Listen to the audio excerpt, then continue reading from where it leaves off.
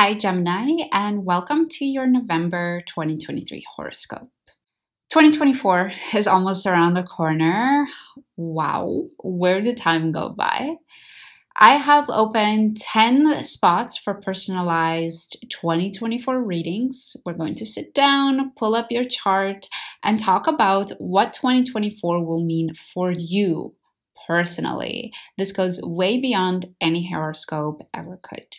The booking link is down below in the description box. We start off the month on November 2nd with Jupiter in your 12th house opposing the Sun in your 6th house. This Scorpio season is asking you to spend a little bit more time with your personal routine, taking care of your health, going to bed on time, making sure you get enough food. And I think that can be a bit challenging for you sometimes, Gemini, especially because now with Jupiter in your 12th house, you may have a tendency to escape to be a little bit more withdrawn and in your thoughts. So, this day is going to really ask for some balance from you in making sure you live in the real practical world.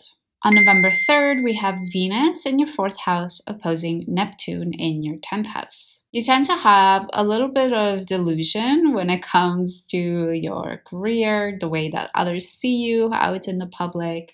And on this day, you're especially going to come to face with this tendency. There might be some beautiful relationship, some beautiful news, some beautiful connection that you make with your family, with the close people around you that really highlights just how mistaken and out of loop you are with the way that people view you.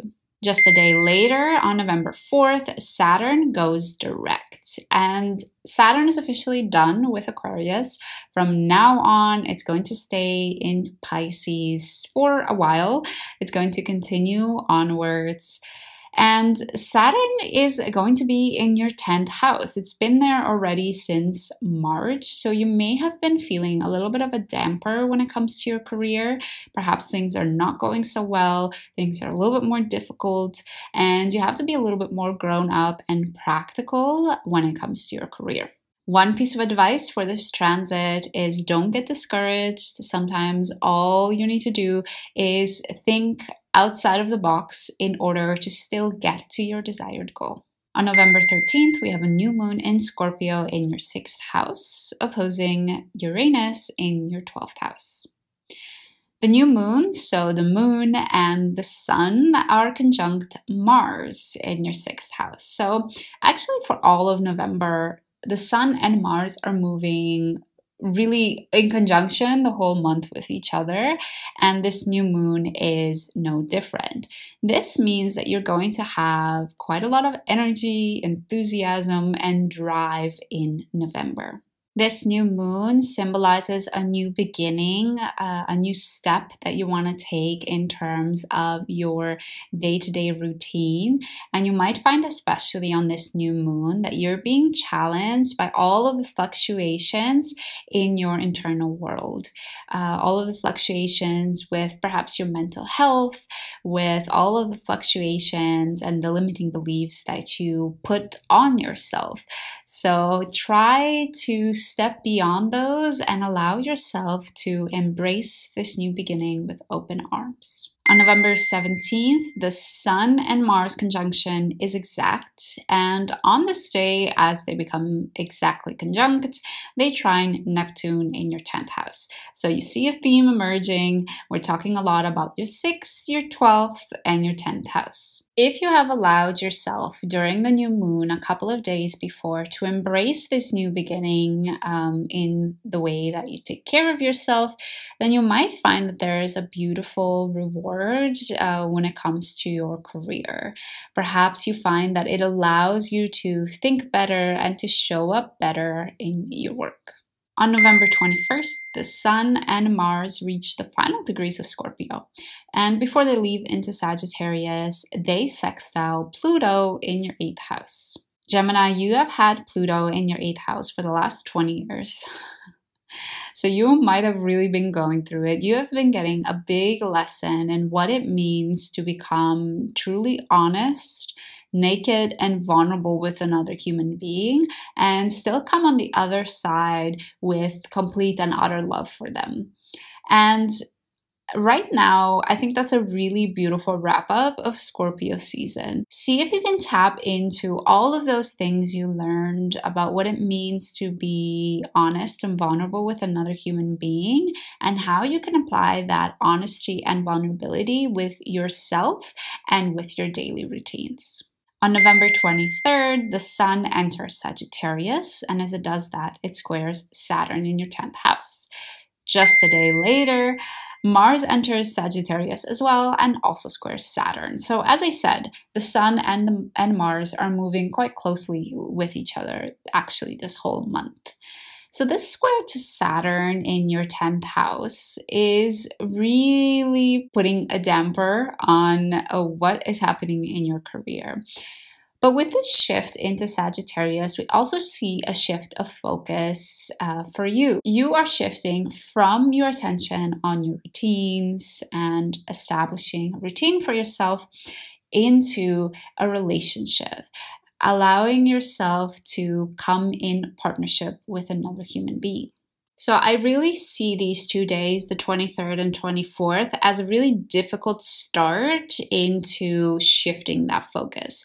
So it's not going to be very easy for you to start shifting your focus to your partnerships, even though you want to. And I assume this has something to do with your career. Probably your career is asking a lot from you currently. It's really taking a toll on your energy, and therefore you're not able to expend that energy and attention to your partner. Don't worry, it's going to get a little bit easier uh, quite quickly because thankfully, Sun and Mars move quite fast. On November 27th, we have a full moon in your first house. So we have the Sun and Mars in your seventh house opposing the moon in your first house. And during this full moon, we also have Venus conjunct the South Node in your fifth house. Because this is a full moon in Gemini, I see this time as new information being revealed to us, and perhaps a lot of information. It's in the sign of Gemini, after all, that perhaps feels overwhelming and like way too much info. And especially because this full moon is happening in your first house, I see that perhaps you could be confronted with something in, in your relationship that actually reveals information about you, who you are as a person, what relationships mean to you, and how you want to show up in the world. And because Venus is conjunct the South Node in your fifth house, it's possible during this time that it's the way that you have fun, your pleasures, your hobbies that come up in this conversation with your partner. Perhaps you are doing a hobby or doing things for fun that are actually just to please your partner, uh, that are actually things that they like doing a little bit more than you like doing. Uh, so, really allow yourself to get rid of any people pleasing tendencies that you might have when it comes to the things that you do for fun. The Venus and South Node conjunction is only going to get stronger after the full moon. Venus and South Node are conjunct exact at their peak on November 29th, so right in time to close off the month. Overall, Gemini, I would say this is a beautiful month to get your routine in order, and it might be some time where you have a little bit of difficulty in your career, but that's all right because soon enough there will be some wonderful new developments in your partnership that will hopefully allow you to focus on something else. I have 10 spots available for 2024 uh, year ahead readings.